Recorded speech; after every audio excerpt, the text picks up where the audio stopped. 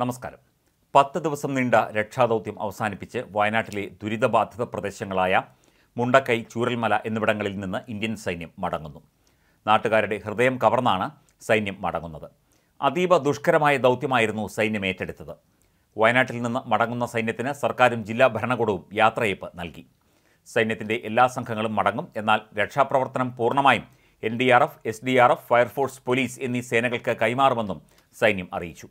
സൈന്യത്തിന്റെ അഞ്ഞൂറ് അംഗസംഘമാണ് മടങ്ങുന്നത് തിരുവനന്തപുരം കോഴിക്കോട് കണ്ണൂർ ബംഗളൂരു എന്നിവിടങ്ങളിൽ നിന്നുള്ള ബറ്റാലിയൻ അംഗങ്ങളാണ് ദൗത്യം പൂർത്തിയാക്കി മടങ്ങുന്നത്. അതേസമയം താൽക്കാലികമായി നിർമ്മിച്ച ബെയ്ലി പാലം മെയിന്റനൻസ് ടീം പ്രദേശത്ത് തുടരും. ഹെലികോപ്റ്റർ സെർച്ച് ടീമും അടുത്ത നിർദ്ദേശം വരുന്നതുവരെ തുടരുമെന്നും സൈനിക വൃത്തങ്ങൾ അറിയിച്ചു. ബാക്കിയുള്ളവരാണ് മടങ്ങുക എന്നും സൈന്യം പറയുന്നു.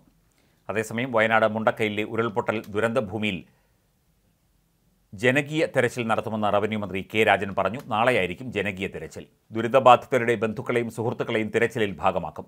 ക്യാമ്പുകളിൽ കഴിയുന്നവർക്ക് ആവശ്യമെങ്കിൽ ദുരന്ത മേഖലയിലേക്ക് വരാൻ അവസരം നൽകും. ക്യാമ്പുകളിൽ ഉള്ളവരെ വാടക വീടുകളിലേക്ക് മാറ്റുമെന്നും വാടക സർക്കാർ നൽകുമെന്നും മന്ത്രി പറഞ്ഞു. ക്യാമ്പുകളിൽ ഉള്ള ആളുകളെ താൽക്കാലിക പുനരധിവാസത്തിന്റെ ഭാഗമായി വാടക വീടുകളിലേക്ക് മാറ്റുക എന്നതിനാണ് നിലവിൽ പ്രാധാന്യം നൽകുന്നത്. എത്ര പേർക്ക് സ്ഥിരമായ പുനരധിവാസം വേണ്ടിവരുമെന്ന് കണക്കാക്കും.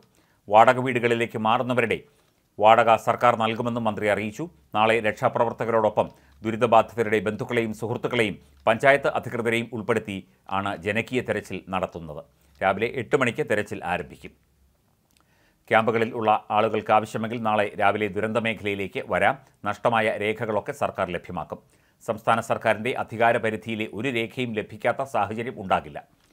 അടുത്ത ദിവസം പ്രധാനമന്ത്രി വയനാട്ടിൽ എത്തുമ്പോൾ അദ്ദേഹത്തെ സ്നേഹത്തോടെ സ്വീകരിക്കും. കേന്ദ്ര സർക്കാരുമായി ഒരു തർക്കത്തിനും ഈ ഘട്ടത്തിൽ നിൽക്കില്ല എന്നും മന്ത്രി കെ രാജൻ അറിയിച്ചു.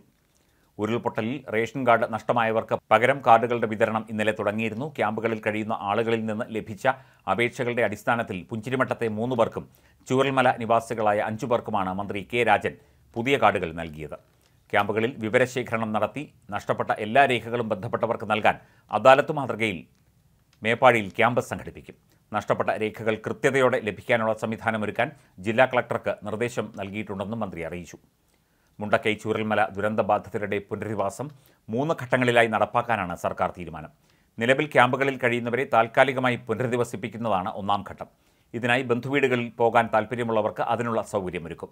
മറ്റുള്ളവരെ താമസിപ്പിക്കുന്നതിനായി വാടക വീടുകളോ മറ്റ് സൗകര്യങ്ങളോ സർക്കാർ ചെലവിൽ കണ്ടെത്തി നൽകും. സ്ഥിരം വീടുകളിലേക്ക് മാറുന്നതിന് മുൻപുള്ള ഇടക്കാല ട്രാൻസിറ്റ് ഹോം സംവിധാനമാണ് രണ്ടാം ഘട്ടത്തിൽ നടപ്പിലാക്കുക. സമ്പൂർണ പുനരധിവാസത്തിന്റെ ഭാഗമായുള്ള എല്ലാ സൗകര്യങ്ങളോടും കൂടിയ ടൗൺഷിപ്പ് പദ്ധതിയാണ് മൂന്നാം ഘട്ടത്തിൽ നടപ്പിലാക്കുക എന്നും മന്ത്രി കെ രാജൻ അറിയിച്ചു. ക്യാമ്പുകളിൽ ഉള്ളവരെ വാടക വീടുകളിലേക്ക് മാറ്റുമെന്നും വാടക സർക്കാർ നൽകുമെന്നും മന്ത്രി പറഞ്ഞു.